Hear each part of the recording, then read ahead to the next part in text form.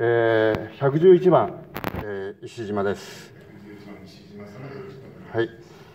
まあ、あの、今回もコロナで本当、こういう業界大変だと思います。そして、えー、社長が岸田総理と面談したのも見ました。えー、コロナで大変なことになってると。えー、でも、本当に大変な思いしてるのは、現場の社員さんなんですよ。夜通し働いて、夜通し働かないと、もう家族も養っていけない、基本給19万で、ボーナスが3800円でしたとか、夜中やらないと27、8万ならないとか、70時間以上残業やらないとそこそこの給料ならないとか、えー、聞いておりますが、えー、まあ、あのー、やっぱり一番困るのは、社長じゃなきゃいけないんですね。ミニ会ででも社員を守らなきゃいけないんですけれども、昨年の役員報酬が5570万円。で、今年は約300万円アップして、えー、取締役報酬が5869万になってるんですね。で、これは、あの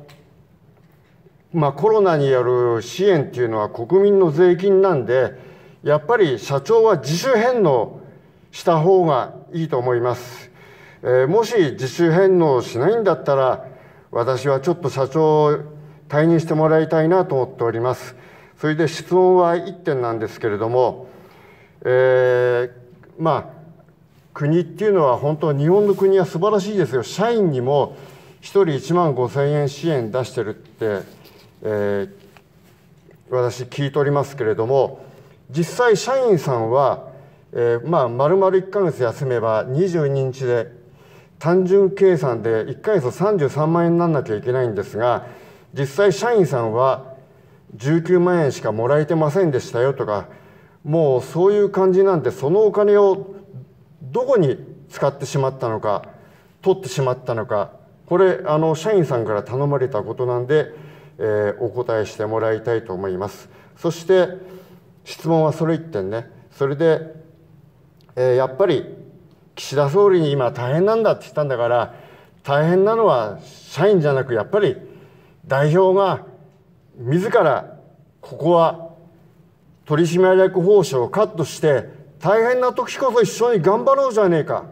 株主様だから応援してください。そういう意気込みがないか。そういう100%カットしてミニ会ででも社員を守るっていうんだったら道義を取り下げたいと思います。それから私も最初から株主になっちゃって本当迷惑してますが、1号議案なんですが、10円の配当だと配当成功たったの14%です。ですから、配当成功50%、33円に修正動議いたします。以上です。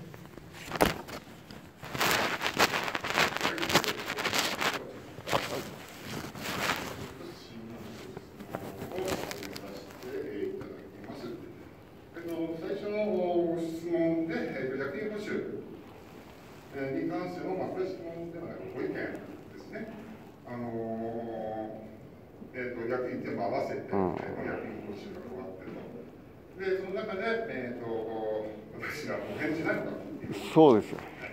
あのずっとカットしろしてんじゃないんですよ。支援もらったからやっぱりそれは税金なんでやっぱり株主じゃなく国民にも良くないんでやっぱりカットした方がいいと思います。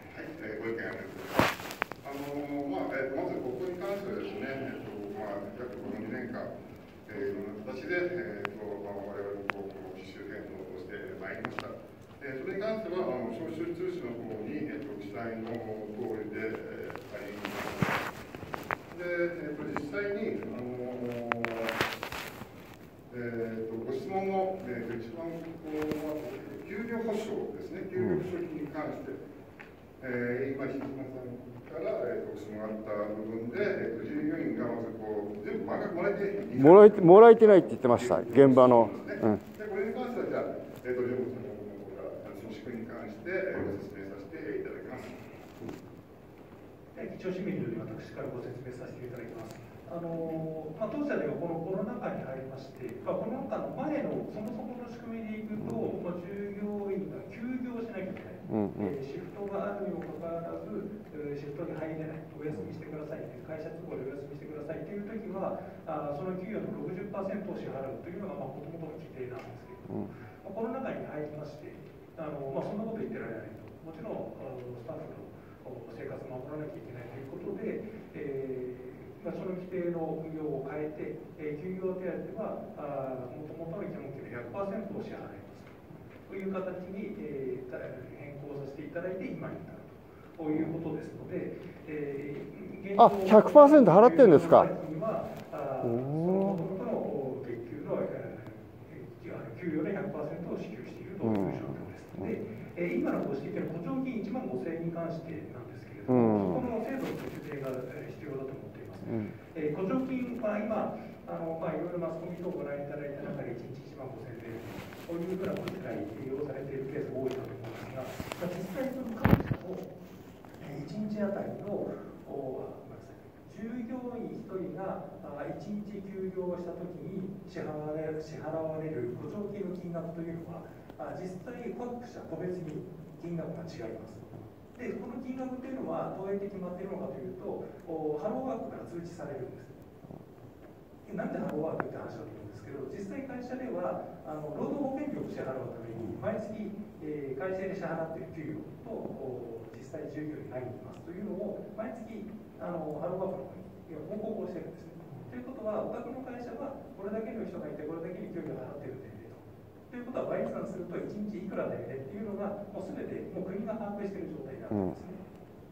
ですのでじゃあ SAP ホールディングスの場合はあの、まあ、誰がどういう形で休業しようとも1人1日いくらですであの子会社 SAP ダイニングの場合は1人1日いくらですというのが通知されます。ので、えー、じゃああの例えばじゃあ何人があのこれだけの日数休みましたということを申請するとそれに今申し上げた単価が計算されて、えー、補助金が支払われるという仕組みにそもそもはまずなっています。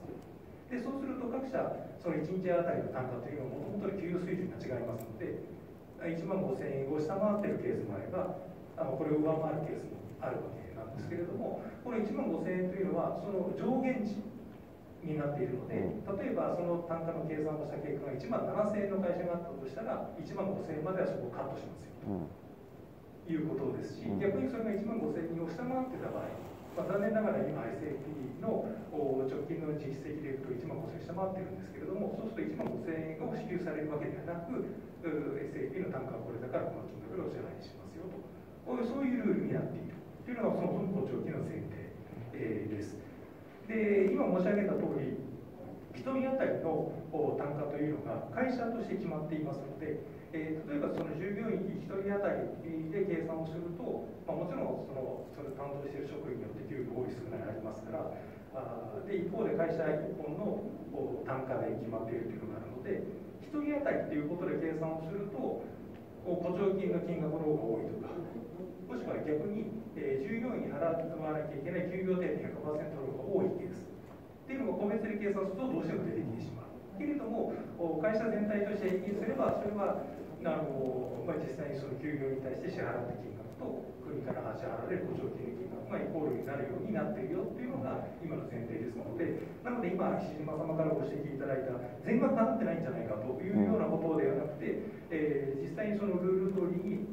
申請を当社はしますしで各従業員に対してはもともとのそれぞれの金額がありますからそれを給与手当として100%支払っているというのが今の現状でございます以上ご説明申し上げました